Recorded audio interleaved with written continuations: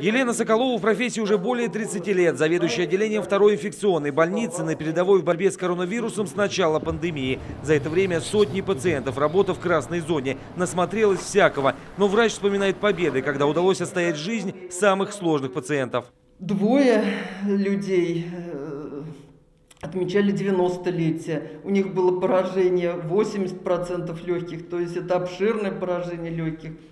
И вот все сложилось, все получилось, организм отреагировал, и вот 90-летие происходило, и отмечали, так сказать, вручали им медали юбилейные, вот на базе нашего отделения, нашей больницы. Елена в числе первых нижегородских медиков, кто прошел вакцинацию от COVID-19. То, что делать прививку необходимо обязательно, сомнений у врача не было. Также поступил и Роман Волонкин. Врач-уролог 4 городской поликлиники Канаинского района Нижнего Новгорода. Получил отечественную вакцину «Спутник Ви».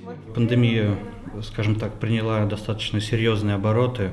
Вот. И если сейчас что-то не предпринять, как бы в дальнейшем может быть только хуже. Поэтому да, вакцина, можно сказать, экспериментальная, но так можно сказать про любую вакцину, даже про иностранную.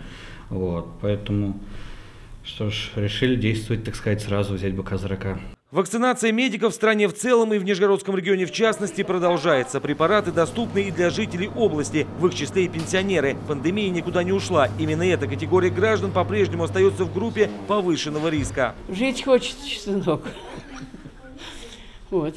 Стали вот нам, э, я уж не помню, в декабре мы записались, да, и нам разрешили, кому за 60 и больше решили делать, мы все прививки делаем. В Нижегородскую область зашло более 7 тысяч доз вакцин.